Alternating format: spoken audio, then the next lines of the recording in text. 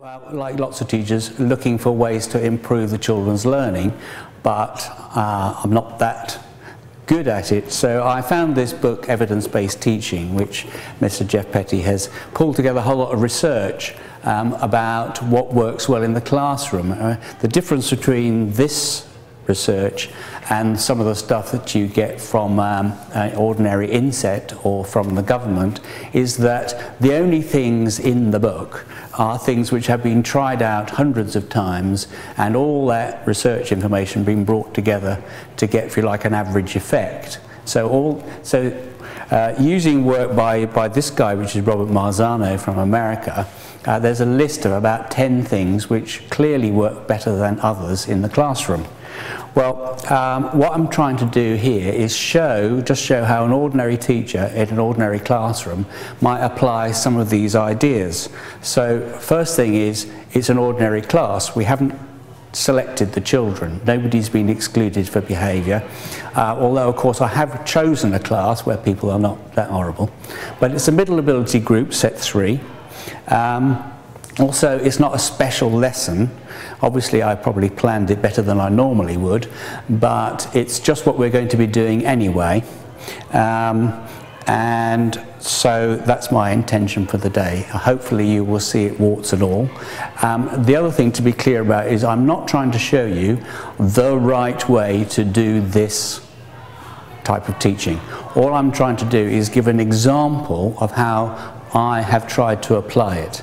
I think that uh, if you want to apply it yourself, you need to look at some of the material and see how you could do that in your own lesson.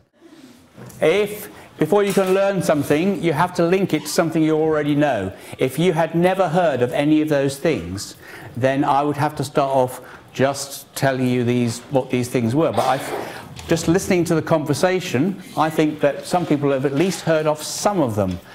Which one have you heard of and where? Um, at oxygen. Yeah, where have you heard of that? Breathe it in. Just So oxygen you breathe in.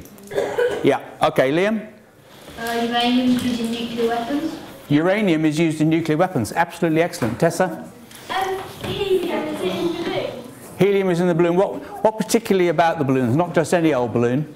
One that goes like one that floats. Okay. So a floaty balloon and somebody else tell me something something else about helium. Yes, Georgia. It rises. It rises. We've got that. Gabby. When you when you breathe it in, you talk really funny. Yeah, when you breathe it in, when you try to speak afterwards, it makes your voice go very high. Okay, Martin.